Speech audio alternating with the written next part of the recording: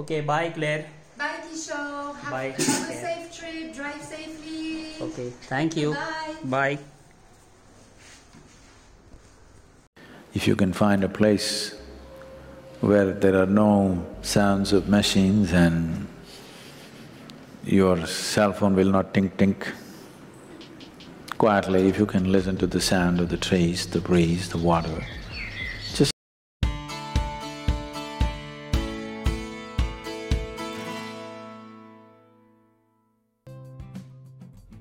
मैं अगर चाहता तो बीकानेर में और एक दिन स्पेंड कर सकता था।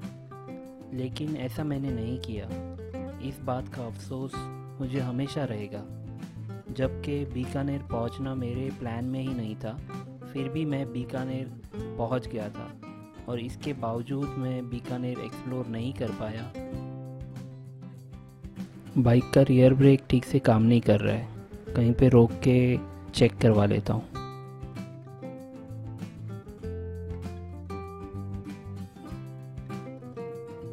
परफेक्ट एकदम। एकदम। मैं चला के देख लेता हूँ।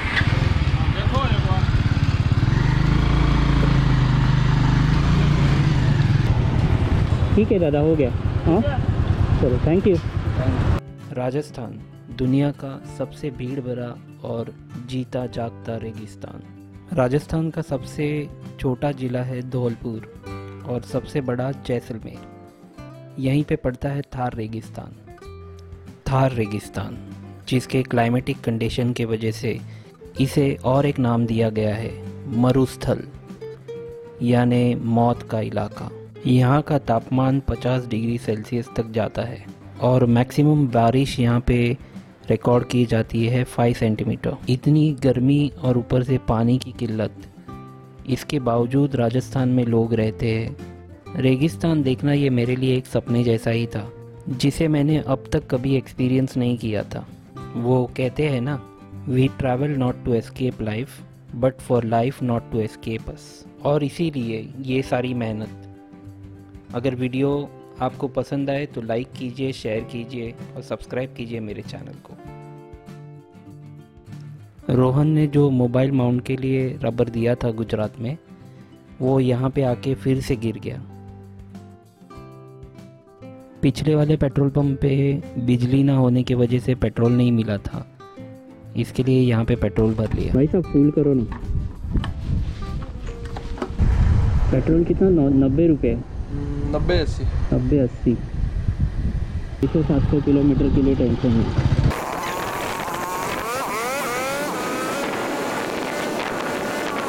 If you can find a place where there are no sounds of machines and your cell phone will not tink tink, quietly if you can listen to the sound of the trees, the breeze, the water, just the natural sounds, if you pay enough attention, tremendous things will happen to you. Particularly if you have children.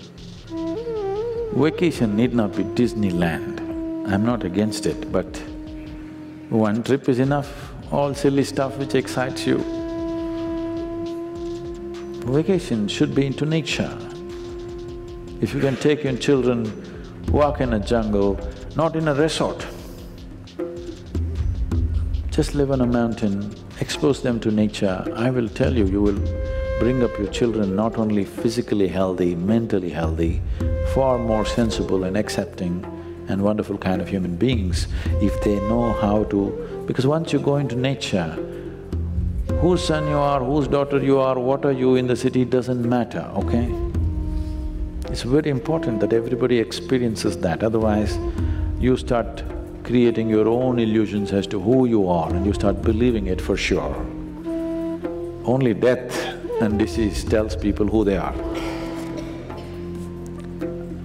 Uh, it's very important, especially if you have children, it's extremely important that vacation does not mean movies, vacation does not mean some, I don't know, silly entertainment of doing this and that. It's important there is some connection with the roots of who we are and we listen to the right kind of things, what makes life buzz.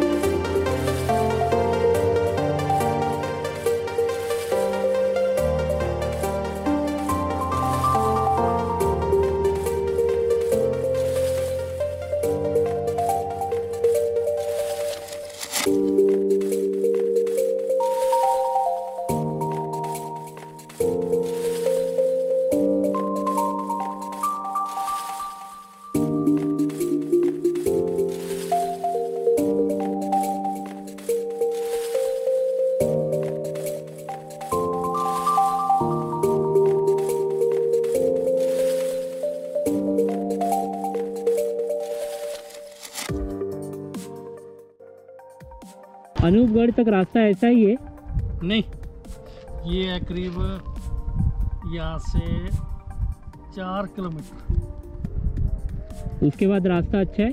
बहुत बढ़िया जगह। कहाँ जाना है आपको? अनूपगढ़ अनूपगढ़ जाना है। हाँ नहीं आगे चार किलोमीटर तक है रास्ता खराब उसके आगे तो फिर पाँच किलोमीटर आएगा। नहीं दस किलोमीटर आएगा बढ़िया रोड यही रहेगी। है एकदम साफ़। हाँ दस किलोमीटर के बाद फिर हाईवे आ जाएगा वो बारतमाला वो तो एक चकाचक है। दस किलोमीटर के बाद? हाँ यहाँ से तेरह किलोमीटर के बाद चार किलोमीटर रास्ता ऐसा ही आएगा ये बड़ा कभी खड्डा आ गया कभी प्लेन आ गई थोड़ी बहुत ये लगा रखी है थोड़ी सी। हाँ। हम्म, ऐसा। और चार किलोमीटर के बाद यही रोड रहेगी प्लेन रहेगी। आपका नाम भाई साहब? हाँ? आपका नाम? प्रकाश सिंह। प्रकाश सिंह जी। हाँ जी। Thank you sir okay sir. कहाँ से आप हरियाणा से? नहीं मैं तो यहाँ नूपुर से ही हूँ। यहाँ से करीब साठ किलोमीटर आ गया मैं साठ किलोमीटर आगे? मैं जा रहा हूँ दिल्ली लेकिन घूमते घूमते जा रहा हूँ। कैसे? दिल्ली कैसे जा रहे हो? अभी दिल्ली जाऊँगा दिल्ली से उत्तराखंड जाऊँगा। कैसे?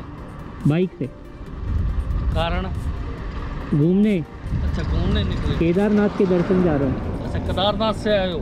जा रहा हूँ अभी। जा रहे हो? हाँ। दिल्ली से फिर जाओगे? आगरा? उत्तराखंड। उत्तराखंड अच्छा। चलो बढ़िया। थैंक यू सर आपका यात्रा सब रहे। थैंक यू ठीक है जी।